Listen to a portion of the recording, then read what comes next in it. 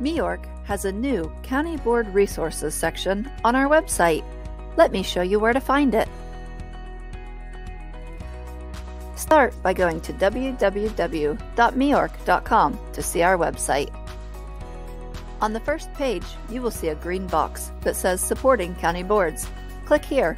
This will take you to the Supporting County Boards page where you can click on the County Board Resources. This will take you directly to our policy library where you can download policy templates to modify for your county board. Another way to locate this page is by clicking on Supporting County Boards in the menu across the top and selecting Resources. That brings you to the County Board Resources page. You can also scroll to the footer on any page and click on Resources in the County Board column. That will bring you directly to the Policy Library.